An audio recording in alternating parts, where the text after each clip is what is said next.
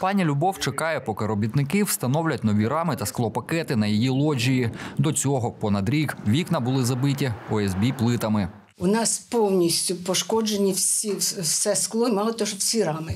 Вони вигнуті, прогнуті, е, міжквартирні, міжкімнатні двері повністю розбиті. Там закрито все, так тільки прикривали ми.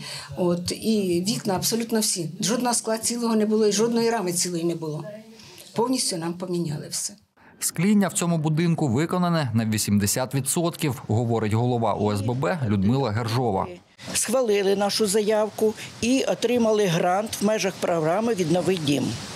Затвердили розмір першого траншу гранту в сумі 2 мільйона 451 тисячу 830 гривень, що складає 70% на виконання прийнятих заходів.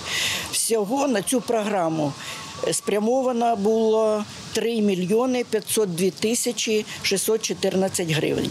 30% коштів – це 1 мільйон 50 тисяч 784 гривень – буде профінансовано по закінченню робіт.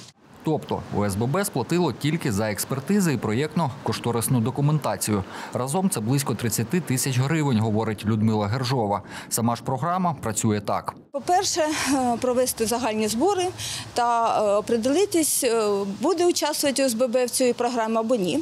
По-друге, зробити технічний. Технічне обстеження будівлі та виявити, до, якої категорії належить ОСББ руйнування. Якщо це не руйнуються капітальні конструкції, е, тоді ОСББ може прийняти участь у програмі. Після цього робиться проект і е, робиться експертна оцінка в державній експертній службі.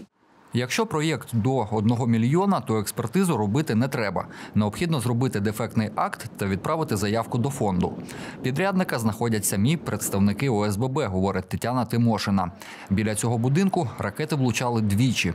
Ось квартира військового, який зараз воює на південному напрямку. Тут вже здійснили заміну, говорить Людмила Гержова. Державна програма фінансується європейськими грошима. Експерт Юрій Гусаков говорить, що окрім пошкоджених вікон можна замінити зруйновані ділянки дахів, водопровід та каналізацію, понівечені агресивною технічною водою.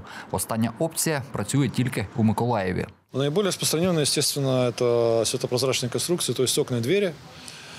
Э, Где-то порядка 80-90% общего э, ну, объема работ.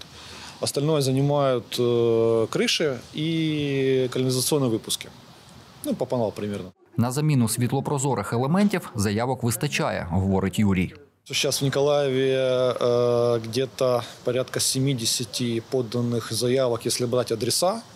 А если в разрезе ОСМД, то это 50 где-то ну, 50 плюс где-то вот если сами ОСМД брать отдельно. Ну, потому что в каждое ОСМД входит еще несколько адресов. Каждая средняя заявка это порядка 3 миллионов. На цій адресі з 80 квартир скло було пошкоджено в 54. В 45 з них основні роботи вже закінчили. В 9 закінчать днями. Далі робітники зроблять відкоси, підвіконня, відливи. Олександр Гордієнко, Юрій Руденко, Суспільне, Новини Миколаїв.